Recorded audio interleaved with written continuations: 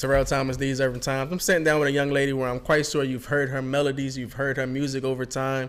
Uh, so it's a beautiful thing to actually be able to put face to those notes and those harmonies. She's recently been on the road. She has new music out, so many things going on. So it's great to sit down and speak with you. Torica, how are you today? I'm awesome. How are you? I'm magnificent. I appreciate your time. I appreciate you coming down and, and, rocking with us and just giving us some updates about some things that have recently been going on with you. Yes, so thank you for having me. There's an array of things in which I want to talk to you about just to give our audience and give your fans a little bit more of an in-depth history of who you are. But I know as we're in the fourth quarter, I'll say of 2023, it's been a very good year for you. Most more specifically, uh, the last few months have been really dope for you. Yes. You were recently on tour. Um, talk to me about that experience, how that all came about. Yes, so I just got off of the Still Having Mood Swings Part 2 tour with my brother Vedo. Shout out to Vedo. And we did, well, I did 13 cities. It was 18 cities altogether, okay. but due to some other scheduling conflicts, I wasn't able to do every single city, which I was kind of sad about. But the 13 cities that we did, it was super crazy. Like, sold out shows. It was very exciting. It was so much fun. Um, Vedo's fiance actually used to do my hair, so now she okay. does my brows and lashes. And when I saw that he was going on tour, I reached out to her and was like, "Hey, you know, really want to do this tour." So I, they put me in contact with his manager, who I also knew for a long time, and they were like, "Oh, it's a no-brainer. Like, let's do it." So it was like being on tour with family. So it was really fun. Okay, okay. And Vito gave me a lot of pointers because that was the first time I've done like a consecutive like amount of days on a tour. I've been I've done spot dates on tours before, but never like actually doing a whole run. So he um, gave me some pointers. I adjusted some of my set for like the second leg of the tour, but I learned a lot about myself. Um, I learned a lot about my fans and the audience, and a lot of them were already my fans, but they didn't know it until I actually came out and performed. And then by the time I got to the end of my set, they were like, "Oh, you the girl for Second Me, Emily? Oh god!" so it was really cool. Yeah. Was there a city or a moment on tour that really really stood out to you, or where you had like a hmm, this all makes sense type of moment. Are you trying to get me in trouble with the fans, huh? No, not at all. Not at all. Um, so I will say the first city we did was Milwaukee, okay. which was super, super lit. Like the energy was crazy. I don't get nervous before I perform, but I can definitely say I was nervous that night because, like, the first night of the wow. tour, I had just flown in. I flew straight from the airport straight to the venue. I didn't have any time, like, to really process what was happening. So I had to like get dressed, do my hair, do my makeup, and go on the stage. So I really okay. didn't have time to like, you know, meditate or anything before. So that was definitely nerve wracking. But the audience was very receptive. They were very open. So it was a good city to start in because you know they kind of set the tone for the rest of the tour. But um, another city that stood out to me was OKC. Their energy was crazy. Like I love OKC. Um, I will say Memphis was definitely a memorable stop. Um, I'm no longer saying Megan knees. I'm going to say Memphis knees because the girls in Memphis they were twerking the entire night. Gospel, R&B, rap, like whatever song, they were twerking to everything, and they were twerking for hours that's straight. Hilarious. That's hilarious. So sorry, Megan, no shade, but Memphis got them knees. Um, and lastly, I think my favorite city was um, one of my favorite cities was Houston. Houston's energy was crazy. It was the last night of my um, stops on the tour. And I also went to my hometown, which is Columbia, South Carolina. So that was definitely lit to be able to come back to the city that I'm from and perform and be on tour was like a full circle moment for me. I'm glad that you actually mentioned that. Uh, you mentioned South Carolina, yes. and of course we're here in Atlanta. Atlanta is home now, but that is not where you were where you were raised, where you became right. a woman when you fell in love with music. So what was your upbringing like in South Carolina? What was the music scene like, and when did you know that you could have a career or a passion for music? Well, I've always been an entertainer in my family. Like holiday times, they were like, "Okay, dance, sing." Da, da, da. So I was always performing at like holiday family functions. But I had my little bucket on the side, like, I don't work for free. Let me get some coins, put a little twenty in there, a little five dollar bill or something. But um, I started singing in church, like in the choir. I was just singing in the choir, but one day the choir director heard me singing in the hallway and he was like, Oh, you can sing, sing. He was like, Okay, there's no more hiding in the background. I'm gonna put you on, on Front Street. Like, you gotta do a solo. And I was like, No, I'm scared. So he ended, ended up convincing me to do it. And when I finished singing, I, I performed that song the whole time with my eyes closed. And when I finished singing and I opened my eyes, everybody in the church was standing up because they had never heard me sing before. So they had seen me singing in choir, but never like solo. Okay. So that feeling and just seeing people smiling, clapping, some people were crying. I just got addicted to that feel, feelings. So I was just like, oh, this is what I want to do, and here we are. You kind of hinted out there a moment ago when you were talking about being on tour and some of your memories, like, oh, you're the lady from Sick of Being Lonely. Mm-hmm. Uh, very popular Grammy nominated song. Thank you and you are the voice uh, behind that, the vocalist behind that. How did that opportunity come about, and what, what was that experience like?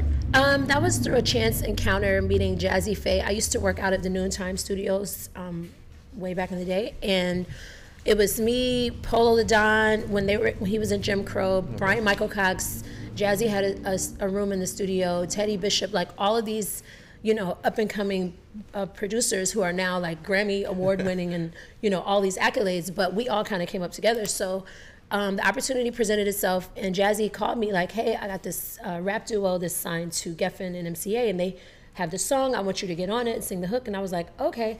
So that was actually my first professional recording. That song. It took okay. me like 30 minutes to record that, and then um, the song just took off. Like a month later, the record label was like, "Okay, we need you here. We need you to fly to LA, go to New York, go to Florida." So we just, it was like a runaway hit. We weren't expecting it. Um, I was very green. I didn't really know anything about the music business. I knew how to sing, but I didn't know about the business. So I kind of like it was like a sink or swim. I just learned as I went along. So yeah. Do you when you hear the record now, does it put you in a different space? Do you realize like the growth in which you you have as an artist and as a woman from then? Like where where does your mind go when you hear the record being played now? Because you can still hear it in the club or when yes, somebody you know that's sure. it's a timeless record. Thank you. Um, I definitely didn't realize the impact that the song had until now because back then there was no social media. So there was no way to see how the song was doing in different markets, different cities, how people were connecting to it unless we went and performed in those cities. We didn't perform in every single city in the country, so it was hard to really gauge who was really listening to the song. So when I went back after the song kind of died down and I saw like our chart positions on Billboard and like all the radio stations that were playing our songs and how many times it played on 106 & Park and BET and VH1 and MTV, I was like, wow, this song was way bigger than I thought. But it's like when you're inside, like when you're from the outside looking in, it's easy to see. But when you're actually doing it, we're just working. We're just showing up where we're told to be to perform, and you know, we don't really understand like how big the song is until like it's you're looking back, like, damn, we really killed it. So my biggest flex is that I was successful before social media. Been that girl, beneficial, okay, and still. That's a great flex. So I, I, I'm I'm not mad at that at all. I do know, and around 2012 or so, now you put out a project, a beautiful mess. Yes. Um, oh, you did your research. Don't play with you. I mean, I, I, knew who you were before the interview. With, you know, yeah. So you know. See. Mm-hmm. Um, Big flex. Beautiful project there, but I, I want you to kind of go back into history or back to the future uh, when you were actually putting that project out, and also explain to me how you feel like you've grown as an artist from then to now. You're asking really good questions. Oh, I appreciate that. Yeah. Um, a beautiful mess was honestly my um, my message to myself, like because a lot of people were putting me in a box like, oh, she's just a hook singer, or oh, she's just a songwriter. You know, I was getting in this background space. Like people were just like, oh, that's my homegirl, girl next door, like really comfortable, really familiar. But um, I put that project out to kind of prove to myself that I was more than a hook singer and I could make an actual project. So that was my debut studio album. I had never recorded an album before. I found some producers that I really loved rocking with, and we just put that whole album together. I wrote every song on it.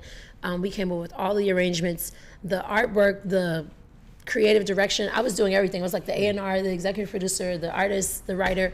So that song was really like my coming out song, like my coming out album. Like it's me, I'm Torica, I'm more than just a hook singer. Because a lot of people were just like, oh, you're the sick of being lonely girl. So at first that was cool, but then I was like, okay, I don't want to just be known as this one thing, like just be attached to just this. So I had to show people like I could do more than that. So yeah, as far as my growth, um, I think that my music now is a reflection of the experiences I've had in life since Sick of Being Lonely came out to now. So I'm definitely more mature. I'm definitely more confident. I know who I am as a woman. I'm a mom now. Um, I'm a businesswoman. I've had a lot of experiences. So I would say if I had to describe my music now, it's life experience R&B. So it's about some real shit that I've actually been through that I know other women are going through and have been through, or they might be going to like going to go through in the future. So. Yeah. Being a mother now and being a parent, has that had an impact, or like how has it influenced the music and what you put out, the music that you listen to? Uh, I'm quite sure that you know, as time goes on, your children will be able to hear mommy's music, you know, what she was singing about, what she may have stood for, the messages in her music. So how has motherhood impacted your sound?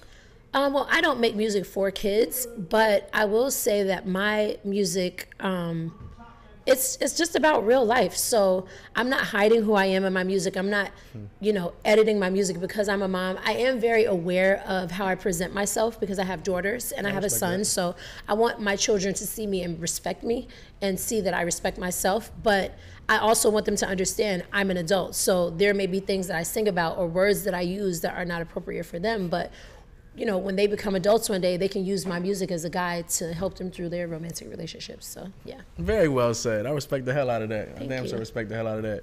Now, we are in a time period where you are releasing new music. Yes. And you have a new record out right now. Uh, you're getting yeah, you're getting people funky, asking them to dance with you. You know, yes. uh, talk to me about your new record and how that all came about. So, dance with me is really just um, a lot of times in relationships women and men do this. We kind of beat around the bush and we don't really say what we want or we expect the person to read our mind. This song is literally telling the man or the significant other, whoever the, this person may be for the listener, what I want them to do and how I want them to do it. So it's just a very clear message did you write this like did you compose this record? Were you in the studio with someone? How, how did it all come about? Yes so i've i've written i've written every song on my project. Um, every song that you guys hear that, me, that i put out i i wrote them. Um, and i wrote them with um, k major. He's a okay, producer okay, and a songwriter okay. that he's like my bro. He's so dope. He's so cool. And we just clicked like we'll sit down we'll come up with a concept i'll come up with a melody he'll be like, "Oh, I got a hook," or I'll say, "I have the hook," and he'll be like, "Oh, I got the verse," and then I have the second verse. Or we just work so well together. So I really can't see myself making more albums without him being a part of the process. So shout out to K Major.